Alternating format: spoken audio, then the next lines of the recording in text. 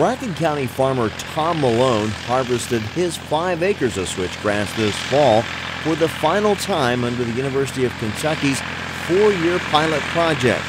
Malone is one of 20 producers in northeast Kentucky who signed up to grow five acres each of switchgrass, and this may be the best year yet for the crop, despite a drought at the end of the growing season. Malone expects the crop to yield seven or eight tons per acre this year, which speaks well of the resiliency of switchgrass. Yeah, the proof lies here on the ground. It, it's very drought tolerant and doesn't get affected as uh, a lot of other forages. With this being the final year of the UK switchgrass study, producers like Tom Malone will now just have to wait and see what the future of the crop is from here. The switchgrass that has been grown during the project has been transported to the East Kentucky Power Cooperative's Spurlock station in nearby Maysville, where it has been supplemented with coal to produce electricity. That may still be an option for growers if they continue on their own.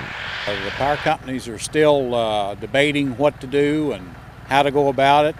Uh, we're taking a look here, uh, a group here in the county is looking into maybe a residential or light commercial uh, direction to move in.